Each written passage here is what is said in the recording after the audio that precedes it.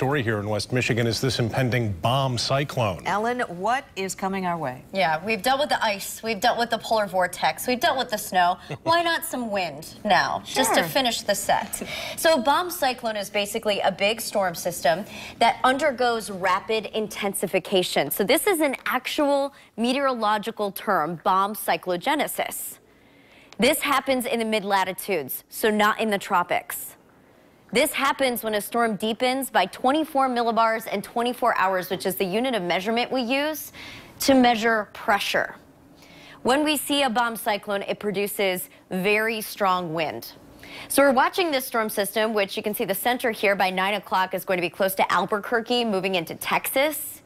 And we're going to be watching it steadily strengthen as it clips up towards West Michigan. And as it gets stronger, it's going to be wrapping together more air from both the north and the south. So we're going to be pumping in warm air all day Saturday as this moves towards us and continues to strengthen. That's what's going to be giving us temperatures in the 40s. And at the same time, it's going to be pulling down very cold air from the north and helping to deepen that low even more so. So what you need to know at home is every time you see one of these circles or one of these bars, these dark black lines, that indicates another round or another area of lower pressure. So the more lines you see, the deeper the storm and the stronger the storm. And you can see just how many more of these lines form by the time we get to Sunday, 7 a.m.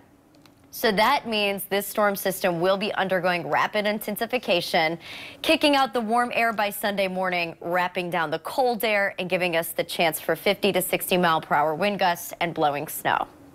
Coming up, we'll show you the rest of your eight day forecast. It does get a little bit more tame after that.